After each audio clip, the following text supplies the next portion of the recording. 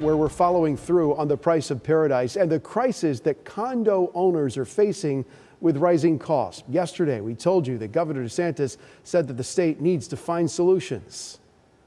Just so everyone's clear, we have to act this year. We can't punt this. Talking about a special session potentially, and we asked you to share your voice and the problems that you're seeing as the state continues to grapple with what to do after legislation put into place and signed by the governor because of the Surfside collapse a few years ago. Here's what you said. One condo owner wrote in part, quote, the insurance crisis and the recent condo legislation is making it unaffordable to stay in my home. Unfortunately, because of these issues, the condo market is tanking, and my home investment does not afford me the opportunity to sell and move elsewhere. Another viewer told us our complex in St. Pete has more for sale and rent than the past recession. The condo law is correct for requiring reserves to be fully funded, but the due date for full funding should be extended five more years. And tonight, ABC Action News reporter Mary O'Connell listening to local condo owners who tell us the rising fees are now forcing them to make some very difficult decisions.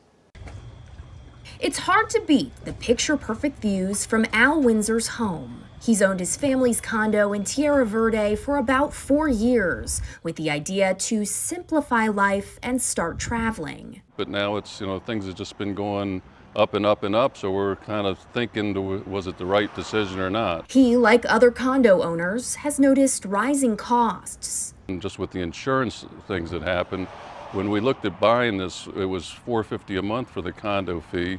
First month we moved in here, it went to 550. After a year, it went to 750. Now it's at 950, and with the new reserve requirements, they're talking about it going to 11, 1200 dollars a month.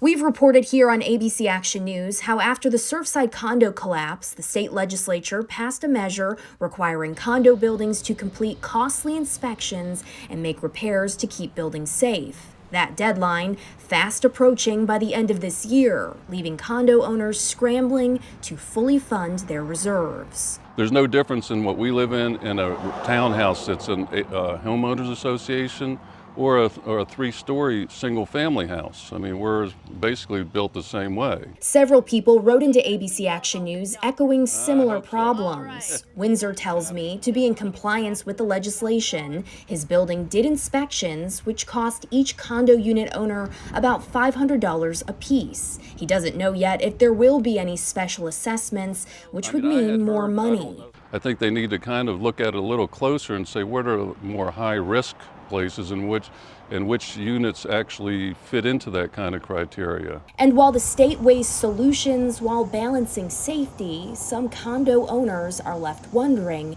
how they'll balance the bill. And if it keeps going up at the rate it's gone up, we're not going to be able to afford to live here. In Pinellas County, Mary O'Connell, ABC Action News.